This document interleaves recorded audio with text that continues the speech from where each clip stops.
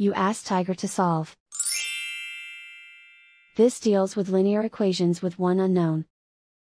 The final result is x equals 6. Let's solve it step by step.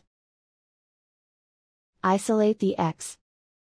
Divide both sides by 4. Simplify the fraction. Find the greatest common factor of the numerator and denominator. Factor out and cancel the greatest common factor. And so the final result is x equals 6.